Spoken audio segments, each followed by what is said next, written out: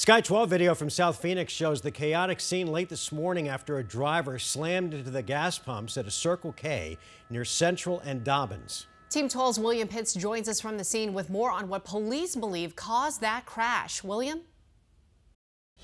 As police tell us they are investigating this as a suspected DUI. Here's what they're telling us happened. That silver car over there by the gas pump was apparently coming down Dobbins at a high rate of speed. There was another car turning into the intersection, turning left, when that silver car swerved to avoid it, went into this parking lot in the Circle K, and then hit those gas pumps, as you can see, doing a lot of damage to the car. Police say the driver and the passenger of that car are adult females, and there was a six year old in the back seat. Just a lot of crashing and banging around. And then when I got up here, it looks like her car is everywhere in that parking lot.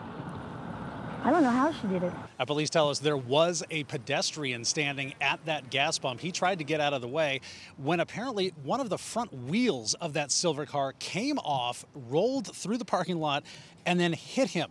Phoenix police tell us that four people were taken to the hospital with non life threatening injuries. And again, they are investigating this as a suspected case of DUI. William Pitts, 12 News.